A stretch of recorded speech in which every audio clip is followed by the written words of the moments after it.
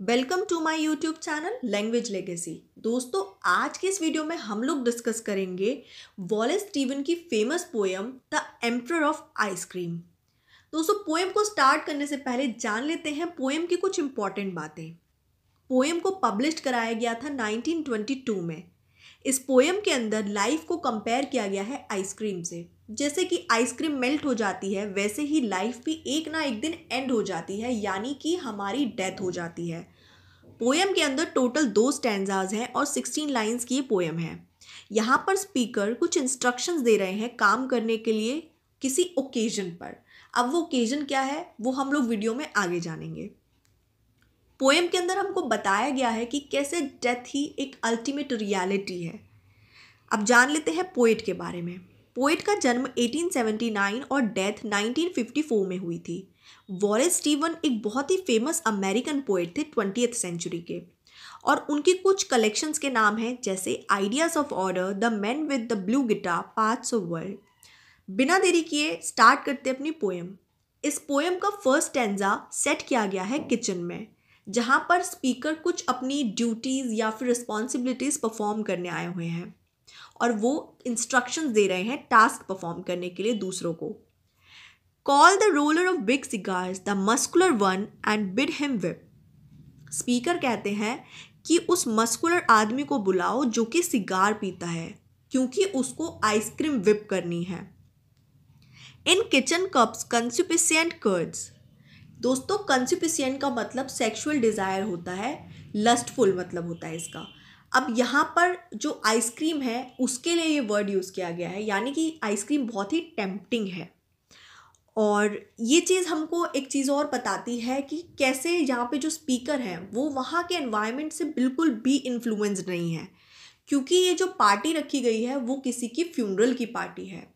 तो यहाँ पर इस वर्ड से हमको ये भी दिखाया गया है कि स्पीकर उस पर्टिकुलर एनवायरनमेंट से इन्फ्लुएंस नहीं है. Let the wenches dawdle in such dresses as they are used to wear wenches का मतलब होता है लड़कियाँ और ड्वारल का मतलब होता है स्लोली मूव करना.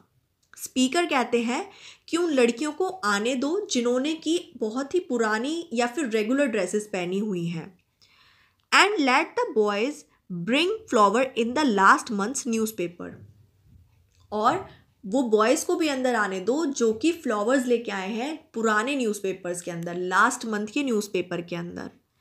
Let be be finale of seem कि उनको यहाँ पर आकर देखने दो कि रियलिटी क्या होती है। The only emperor is the emperor of ice cream और रियलिटी क्या होती है? डेथ ही अल्टीमेट रियलिटी होती है। इस टेंजा में हमने एक चीज़ और देखी है कि कई जगह वेस्टर्न कल्चर्स में ना फ्यूनरल में एक अलग अरेंजमेंट की जाती है। तो वही यहाँ पर की गई है, जो कि डेथ पर की जाती है। वो है एक ice cream party as a treat वहाँ पर दिया जाता है, किसी की डेथ पे, किसी की फ्यूनरल पे। और यहाँ पर जो लड़कियाँ आई हुई हैं, उन्होंने पुराने कपड़े पहने हुए हैं और जो लड़के हैं, वो भी फ्लावर्स पुराने और लास्ट मंथ के न्यूज़पेपर में लाए हैं। तो इस चीज़ से हमको पता चलता है कि वहाँ पे कोई हैप्पी या फिर जॉयफुल ओकेजन नहीं है, ठीक है? वहाँ पे एक सैड ओकेजन है और कोई डेथ का ओकेजन है। अब चलते हैं अपने पोएम के सेकेंड स्टैंडा पे। पोएम की सेकेंड स्टैंडा की सेटिंग बेडरूम में है, जहाँ पर कि वो डेड बॉडी एक वुमेन की डेड बॉडी रखी हुई है। और यहाँ पर हमको लाइफ की रियलिटी दिखाई गई है, यानी डेथ दिखाई गई है। स्पीकर आगे फर्दर और इंस्ट्रक्शंस देते हुए यहाँ पे हमको दिखेंगे।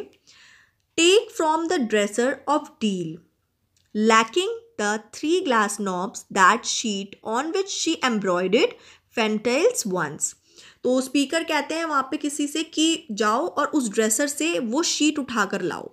किस ड्रेसर से? जो वहाँ पर जिसमें कि तीन ग्लास की नॉब्स मिसिंग है।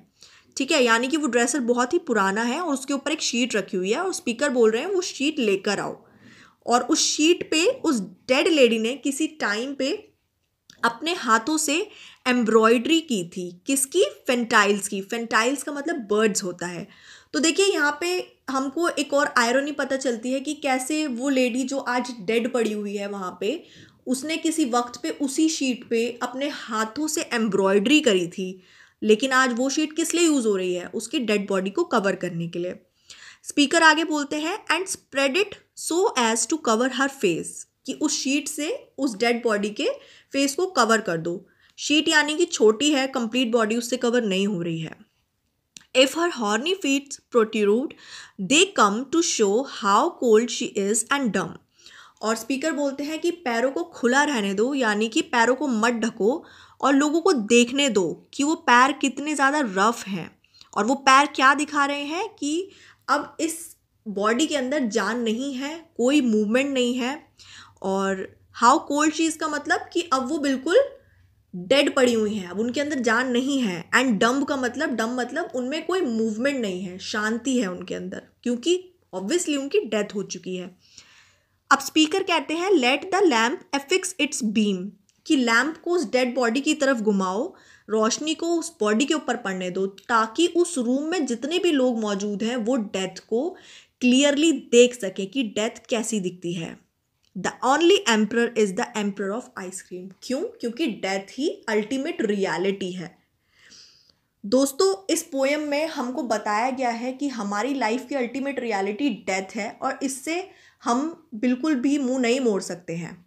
अगर आपको मेरी इस वीडियो में समरी या नरेशन समझ आई हो तो प्लीज़ मेरे चैनल को सब्सक्राइब ज़रूर कीजिएगा do like share comment and subscribe to my YouTube channel language legacy thank you so much for watching